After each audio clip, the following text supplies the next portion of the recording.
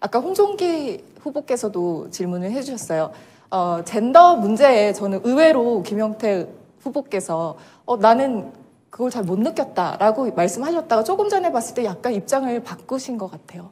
입장 바꾼 것이 아니라 네. 남성들이 차별을 받았던 것도 저는 인정을 하고요. 네. 여성들이 여태까지 힘들었던 것도 인정을 합니다. 네. 며칠 전에 서울신문의 그 뉴스를 보면은 서로 남녀 여러 그럼 현재는 누가 더 피해를 보고 있는 좀 상황이라고? 그런 식으로 갈라치기 하는 걸 지양해야 된다고 생각합니다. 어, 갈라치기가 아니라요. 현재의 상황을 파악해달라- 양쪽으로 양쪽으로, 나누었다라고? 수치화하고 계량화할 수 없는 문제입니다. 수치화하고 계량할 수 없는. 문제라고 합니다. 자꾸 정치권에서 이렇게 어, 갈등을 지금 조장하는 제 발언이니까 생각합니다. 잠깐만 좀 자제를 부탁드립니다.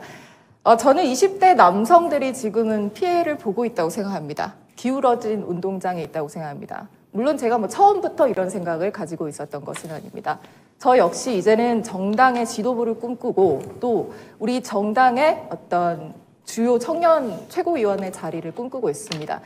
그렇기 때문에 저는 저의 생각을 확실히 정립하고 또 앞으로 준비해야 된다고 생각합니다.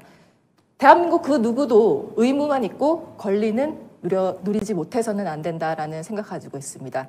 지금 대한, 대한민국의 20대 남성들은 기울어진 운동장에서 아랫부분에 있다고 생각합니다. 지금 주요 청년 후보들은 여기에 대해서 뭐 서로 서로 피해가 있으니 이거를 갈등의 문제로 보면 안 된다라고 말씀하고 계십니다. 저는 그렇게 이것을 몰고 가면 안 된다고 생각합니다.